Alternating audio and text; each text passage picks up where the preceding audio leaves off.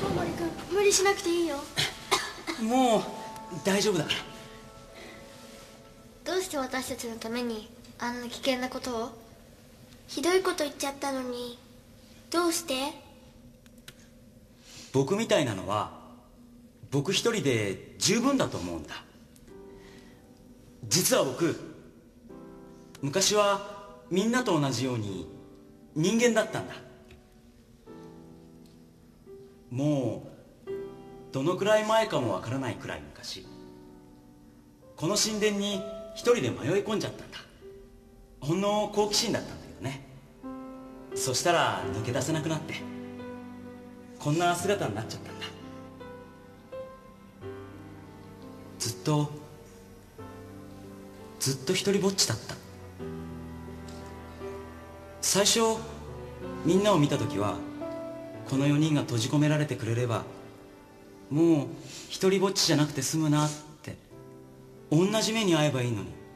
そしたら友達が増えるのにって思ってた。でもさっき仏像が倒れてきた瞬間やっぱり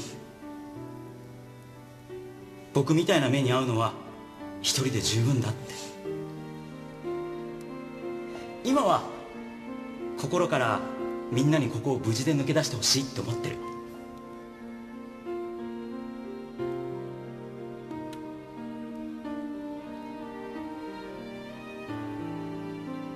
何喧嘩してたんだろう？私たち。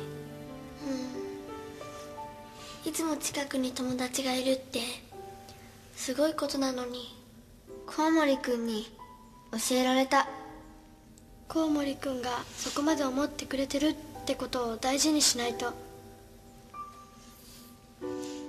じゃあみんな最後まで諦めないで頑張れる？約束。約束。約束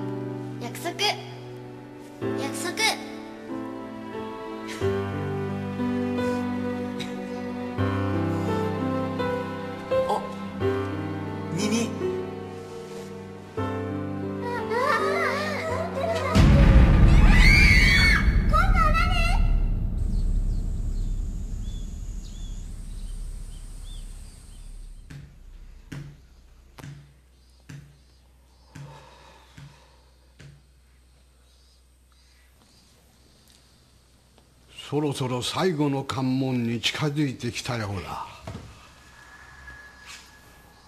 最後は勇気が試される関門だ。勇気？だがわしは昔からそれだけではないような気がしてならんのだ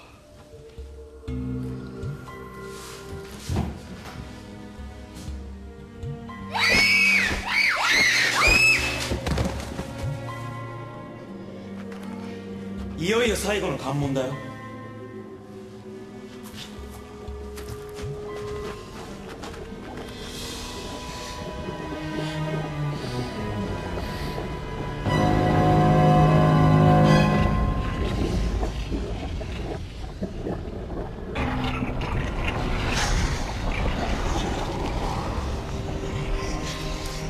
最後の関門のここでは勇気が試される試練の神殿。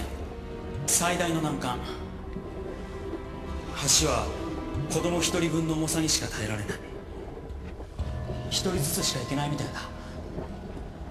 誰から行く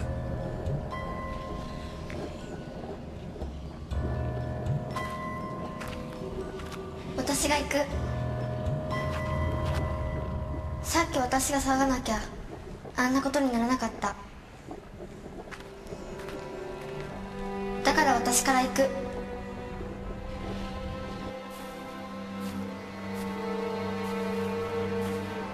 最後は心ではないかと思うんだ。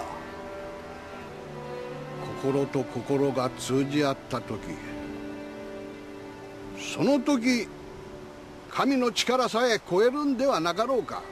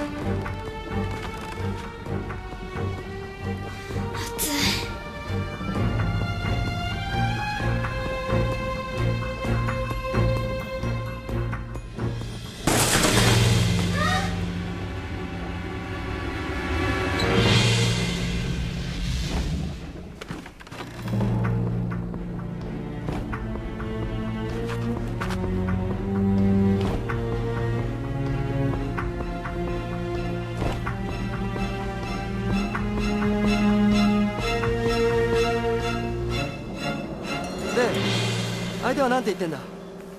うん。分かった。その時間だったら会社に戻れる。これから海外と商談だ。ちょっと近藤さんどういうことですか？これは何があろうともいかないわけにはいかないんです。なんせ20億円もの。近藤さん。たった20億ですかたった20億のために娘さんを見捨てるんですか？お聞きになりましたよね？心と心を通じ合わせなきゃいけないって。私ならできませんね。たった20億のために自分の娘を見捨てるなんてことは